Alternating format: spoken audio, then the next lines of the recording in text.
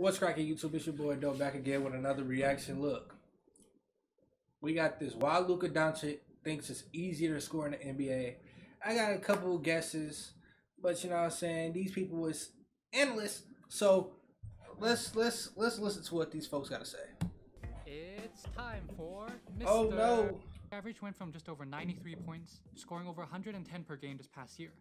The NBA's transition into analytics and a fast-paced positionless game definitely had a hand in that. Uh huh. In a recent interview, Luka Doncic said it's easier to score in the NBA compared to playing in Europe. Besides the obvious Yeah. differences in terms of court size More and space, yeah. violations, Yeah. there are other reasons for a statement. I also want to say that I couldn't get this video out during the short off season, so the clips I've used is from last year, but the same point applies. Anyways, let's get into it. The court size. Before we look at the tapes, He's bigger than most average players who played guards. In both leagues I've said. Dorell Wright said that the EuroLeague is more team-oriented, and players usually don't score 20 plus points every game. Yeah. It's a collective effort of everyone scoring 8 to 12 points, You you want to average sixty seven points? Go to China. averaging 12 Go to China. It's like averaging 22 points in the NBA. Go be teammates with to score in Europe, uh where you have to grind it out. Stephon Marbury. It's more showtime. Chris Singleton mentioned the same things, but also added the focus on defensive structure and concepts. Josh Powell further explains that if you can't play defense in the NBA, you'll get exposed. Mm-hmm. In Europe, their team concept and defense can mask these things, which further emphasizes the difficulty to score. The first thing about Luka on the Mavs is just the freedom and control he has. Yeah. Ever since they traded away Dennis Smith Jr., Luka has basically initiated all their actions, and the numbers back that up. Last year, Luka ranked second in both touches and time of possession. That's With a three crazy. To start the season, Luka is again at the top of the league this year, ranking fourth in touches and first in time of possession. Anyways, Jokic- this led to his willingness Nah, to take these tough contested If I was a coach. Jokic is all know how deadly Jokic is keeping the ball. The impacts of it from James Harden's career. Even though Luka isn't the most efficient beyond the arc, he mixed up with volume, and the defense still has to respect these shots, especially late in the game. Yup. Luka took most of his threes when the defense went under the screen or sagged off him, because that's the correct decision. Because his jump, his jumper was If slow. the defender goes over the screen, He looked like he had a little reason for him hop to it. Because the right move is to drive and collapse the defense and generate an easier open look for his team. You also rarely see these type of heat check shots in the EuroLeague, but these are just one Yeah. indication of the freedom Luka has in the NBA. Everything about Luka's offensive game starts with these step back threes, but I'll come back to the impact of this later. As the previous basketball players have mentioned, one of the reasons it's harder to score in the EuroLeague is the team philosophy. Check out how the defense constantly collapses on Yeah. the primary action, then recovers on shooters. Yeah. On the drive against the closeout, the big rotates over to help, but the weak side defender sinks low. Bro. Whatever team this nigga's playing against, disciplined as fuck. Look at that, bro. They made all the good rotations and are still in it, bro. I think the dump off pass, they're giving up the open three. How they look at it is that this is a further pass than the Shit like that happens making the though. latter more threatening. This is something they've always overlooked in the NBA, where they prioritize preventing threes instead. It was harder to gather the pass with a packed paint, and the offensive player had to fade away to get a shot off. Yeah. The defense is always forcing the extra pass and biding time for their weak side rotations. See how all You- five players Bro, the bro, the you see, you see that's crazy. You see that's crazy because look, buddy, buddy, right here. Wait, is that buddy? Yeah, buddy, right here. He comes up help. He, you would think he'd try to come down and try to get a block. Nah, he stayed right in a little short corner to prevent that pass. That was their weak side rotations. that's hella See how all di- discipline right there. the paint on the penetration. They did mess up the last rotation. Yeah, the last rotation, the big, the big, uh, big ball head. common in the NBA He was slow. He was too slow facing these his whole career before entering the NBA, so often leads to both good and bad results. Damn. an easy shot for himself. Of course, this is also aided by the smaller court, so the recovering distance is also less after collapsing, but not by as much as you think. There's also no 3 seconds in the key, so bigs can So just bigs can just stay. and become a deterrent. This also means any penetration is definitely met by another defender who's already in position to help, making it harder to score for primary ball handlers like Luka. The last thing about the EuroLeague is how often they implement creative schemes. I won't go too in depth on this because I'm gonna make another video, but this wall defense But- is just in another. But then again, the NBA's uh, rules is meant to get faster pacing, uh, more scoring in. That that's the rules.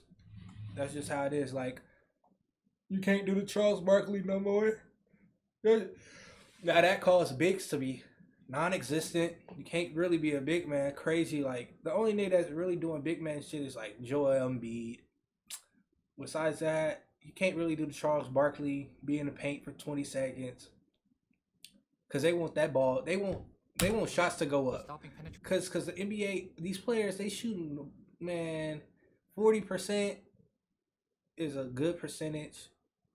Forty to fifty percent, yeah, that's hella good percentage. And a lot of niggas is shooting high forties in the mid range. Period. Some niggas is shooting fifty percent in the mid range, and they're shooting almost forty percent from three. Like what's the league average? The league average three point percentage is 36, 37 percent. So it's like they want shots up. That's all that league wants. They want shots up. Cause shit, one of them bitches might fall. They they gonna fall. penetration and kickouts. Even young Luka was stymied by this strategy. Now that we've checked out the difficulty of scoring in the EuroLeague, we're moving on to scoring in the NBA. As past players have said, the NBA is more showtime and focus a Yeah. more on those one-on-one situations. Prime example is when the Warriors started the small ball switching schemes. All that focuses on having the on-ball defender to shut down the offensive player. While some teams have trended towards the collapse and recover strategy, like the Bucks and the Raptors, weak side rotations aren't always consistent.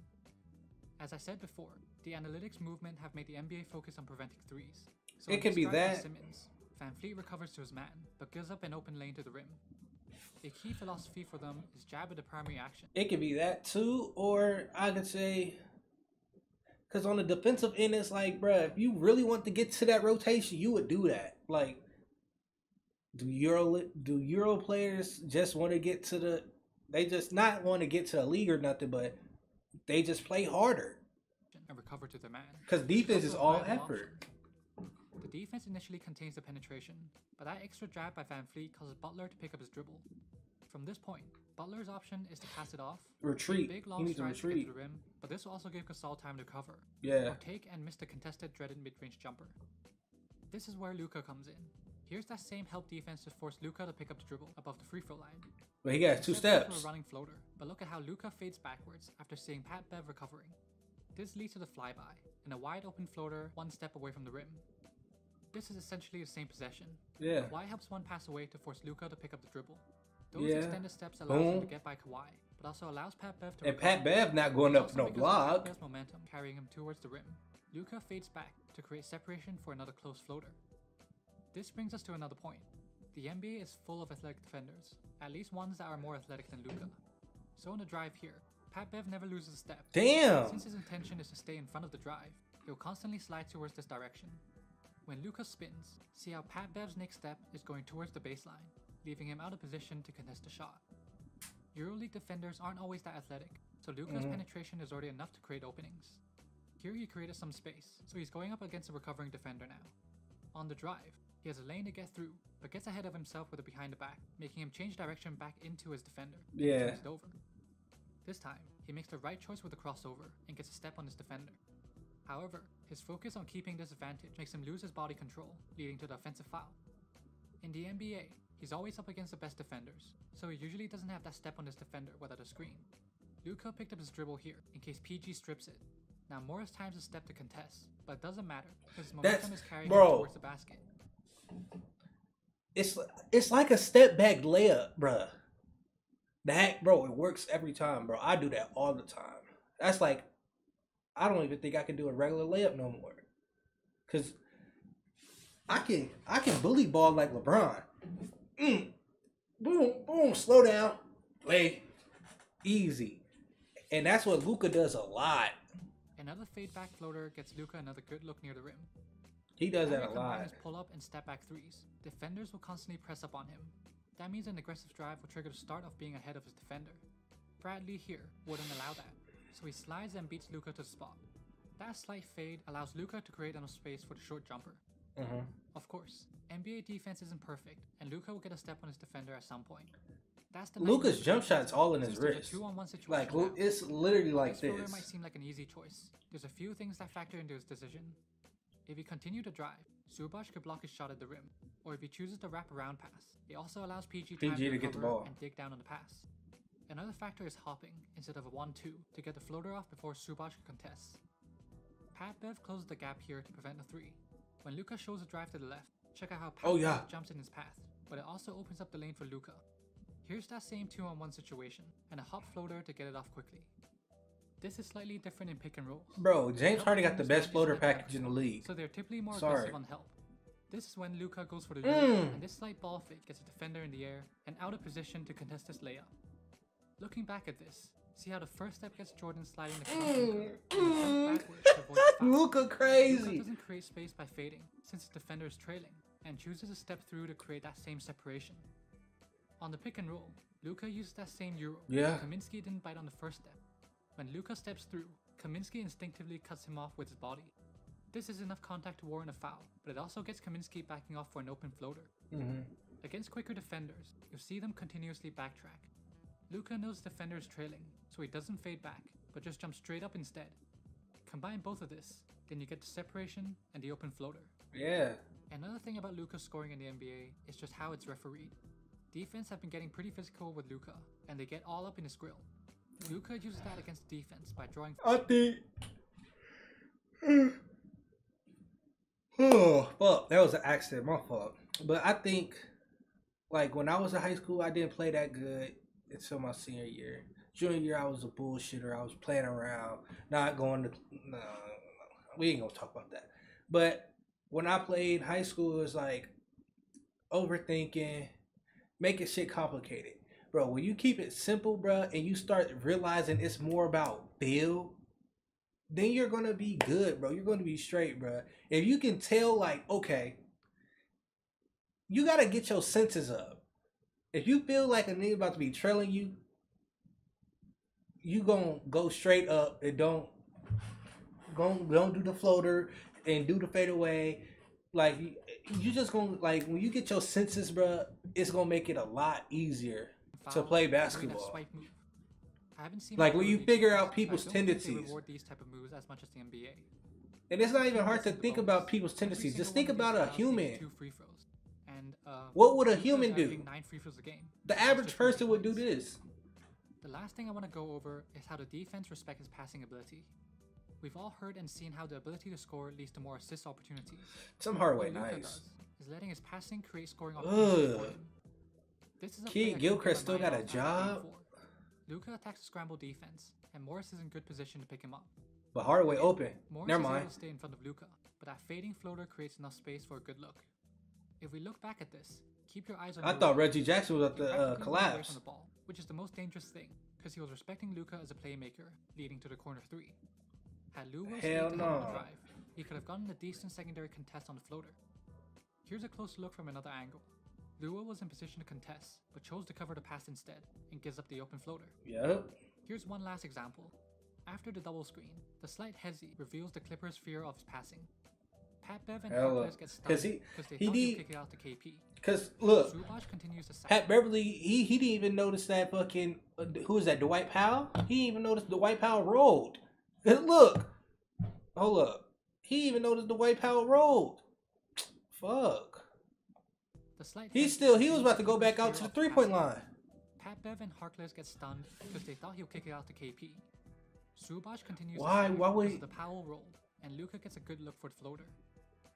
I know there are other stuff I haven't covered in depth, like those step back threes, or even just Mavs schemes like five outs and high pick and rolls.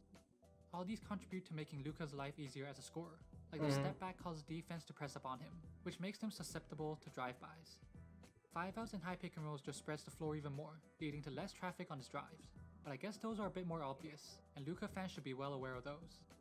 I think these are just nice, bruh. Since it's not the most appealing or flashiest plays, but it is a huge reason why Luka. He- he takes his time, bruh. Anyways, let me know why you guys think it's easier for Luka to score in the NBA, and maybe some things I haven't covered. As always, thanks for making it to the end of the video. Boy, Luka nice as hell, man. That's all I gotta say. Luka nice as hell, and he might be winning MVP this year. If Jokic keep playing crazy too, Jokic might be up there too. But yeah, besides that, man, video over with, my niggas. Hit that like. That was, bro. That's not even my outro. It's uh. Well, that's a well, that's the end of the video, my guys. Hit the links in the description. Like, comment, subscribe. Comment videos I should watch next. And I catch y'all boys on the flip.